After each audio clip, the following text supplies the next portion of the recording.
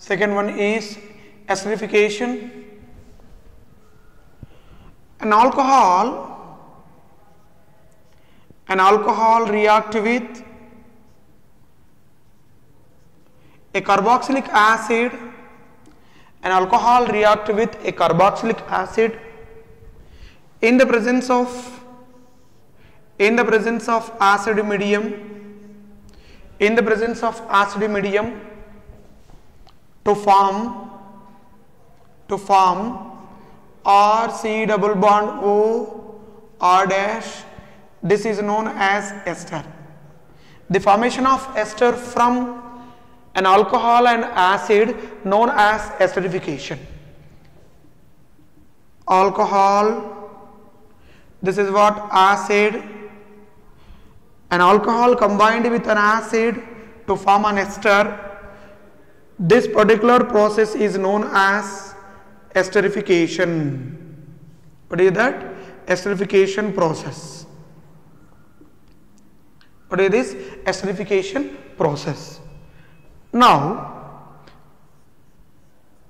when methyl alcohol react with when methyl alcohol react with acetic acid in presence of acid medium in presence of acid medium to form CH3 C double bond O then here is what CH3 known as methyl acetate known as what? Methyl acetate known as what? Methyl acetate methyl acetate now in this particular process the very important area is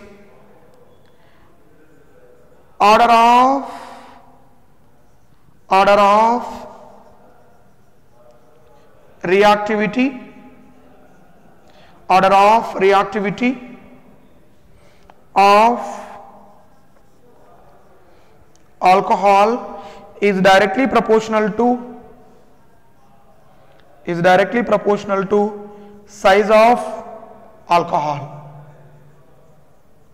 Size of alcohol if the smaller size of an alcohol easily involved in the formation of an ester smaller the size of an alcohol easily involved in the formation of an ester easily formation of an ester. For example example methyl alcohol easily forms an ester compared to which one?